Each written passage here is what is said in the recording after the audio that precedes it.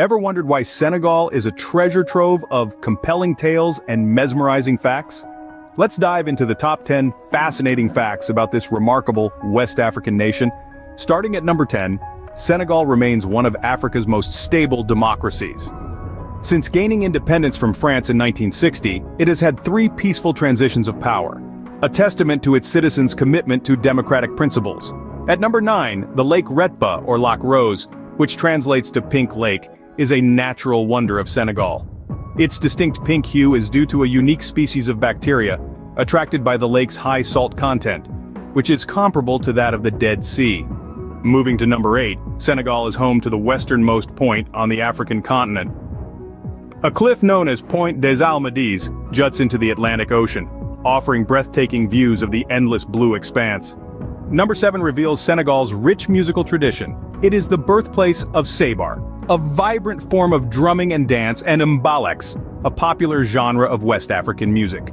Our sixth fact uncovers the House of Slaves on Gorée Island. A poignant reminder of the transatlantic slave trade, it stands as a monument to the millions of Africans who were sold into slavery. At the halfway point, number 5, Senegal's national sport isn't football, but wrestling. Known as lamb, it's a mix of traditional wrestling and boxing, and is a major part of the country's cultural identity. Number 4 takes us to the Great Green Wall. An ambitious African-led project, it aims to grow an 8,000-kilometer line of trees across Africa to combat desertification and improve the lives of millions.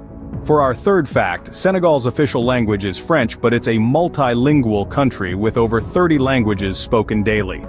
The most widely spoken local language is Wolof, used by over 90% of the population.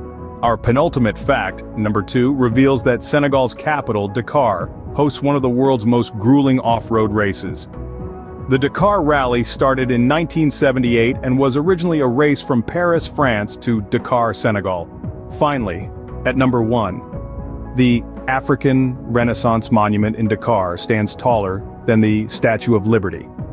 It's a symbol of Africa's resilience and a beacon of hope for a brighter future. In summary, the top three most interesting facts about Senegal include its unique Pink Lake, the Great Green Wall Project, and the towering African Renaissance Monument.